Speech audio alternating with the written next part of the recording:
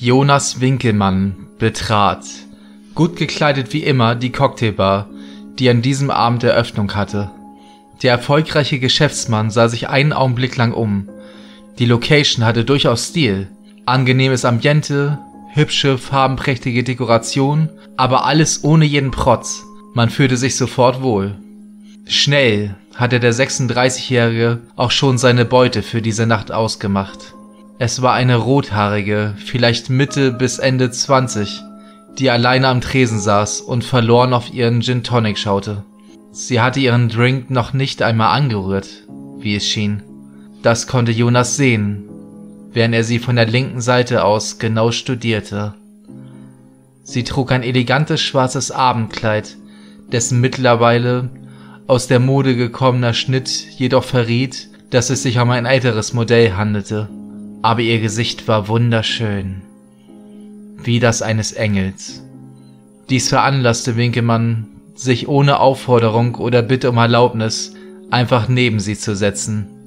Ein Wodka Energy bitte, gab er der Bedienung zu verstehen. Hm, guten Abend, meine Hübsche, war seine plumpe Begrüßung, doch die Schönheit zu seiner Rechten schenkte ihm keinerlei Reaktion, bis auf eine kleine Bewegung ihrer Augäpfel in seine Richtung. Winkelmann kannte solche Frauen. Außen kalt wie Eis, innen heiß wie Lava. Ich bin Jonas, stellte Winkelmann sich vor. Der Frauenheld wartete wieder eine Reaktion ab, doch es kam keine. Er beobachtete die Gäste. Viele schauten ihn höchst irritiert an, so als wenn sie nicht verstünden, warum er einer so wunderschönen Frau Avance machte. Hör zu, Süße, begann der stolze Junggeselle seinen Satz. Ich weiß nicht, was eine so wunderschöne Frau wie du so ganz alleine am Tresen einer Kneipe macht. Doch dann erhob die Dame in Schwarz zum ersten Mal das Wort. Ich bin nicht süß, und das Wort allein hängt immer vom Blickwinkel ab. Fauchte sie den Mann an, der sie gerade anmachte, ohne dabei ihren Blick von ihrem Glas zu heben. Jonas blieb das Wort im Halse stecken. Oh, Du kannst ja sprechen. Das ist immer vom Vorteil. Wie heißt du? fragte der Halotri. Linda ist mein Name. Und Höflichkeit ist auch immer von Vorteil, mein Freund. Antwortete die junge Frau und wies den aufdringlichen Herrn darauf hin, dass sie ihm keine Erlaubnis gegeben hatte, den Sitzplatz neben ihr einzunehmen. Dem ehemaligen BWL-Studenten blieb fast sein Getränk im Halse stecken.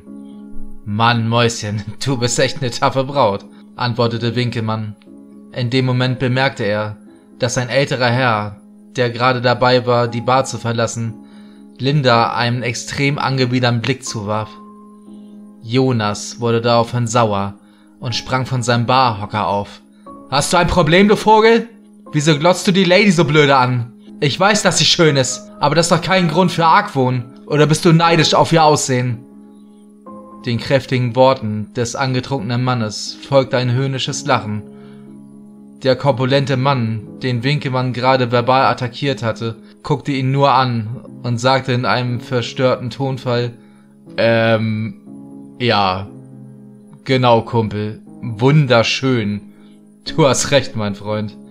Schönheit ist immer eine Frage des Blickwinkels. Mit diesen Worten verließ der alte Knacker talkend die Bar. Ich finde sowas unmöglich. Eine Lady wie dich so doof anzugucken. Ich meine, wo bleibt da der Respekt heute? sprach der junge Mann, während er einen weiteren Wodka Energy bestellte. Der Barkeeper, der die Frau neben Jonas auch verstört ansah, was dieser nicht bemerkte, stellte noch einen Drink derselben Art hin. Linda antwortete Ja, da hast du recht, Jonas. Respekt ist, woran es heute den Menschen fehlt. Der wohlhabende Schönling schaute die Dame zu seiner Rechten neugierig an.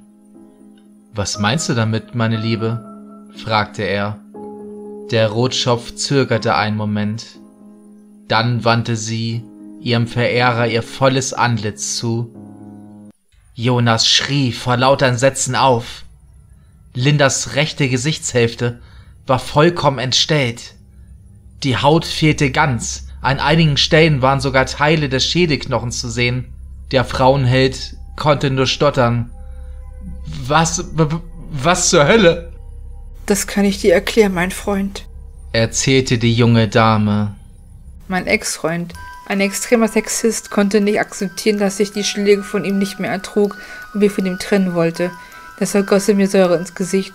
Ich konnte mich zum Glück noch wegdrehen, sodass ich zumindest eine Hälfte meiner einst so hübschen Visage unbesetzt blieb. Vor Gericht behauptete er, ich hätte ihn damals im Chemieraum in der Schule, als passiert ist, mit einem Messer angreifen wollen. Sein Vater war damals schon Hauptkommissar bei der Kripo. Und wenn man so einen Vorteil hat, dann kann man vieles aus einem ganz falschen Blickwinkel darstellen. Lange Rede, kurzer Sinn. Er wurde freigesprochen. Die konzentrierte Salzsäure hat so viel von meinem Gesicht zerstört, dass selbst die besten Schönheitschirurgen nichts mehr reparieren können. So verbringe ich seitdem meine Abende. Ich streife von Gaststätte zu Gaststätte und versuche zumindest für ein paar Minuten wieder das Gefühl zu haben, schön zu sein. Tut mir leid, wenn ich deine Zeit verschwendet habe, Jonas. Weinend verließ die arme, entstellte Frau die Cocktailbar und ließ Winkelmann mit offenem Mund zurück. Dieser brauchte einen Moment, um wieder herunterzukommen. Äh, bitte noch ein Wodka Energy, bat er den Mann, der hinter dem Tresen stand. Und das sollte an diesem Abend bei weitem nicht sein letzter Drink gewesen sein.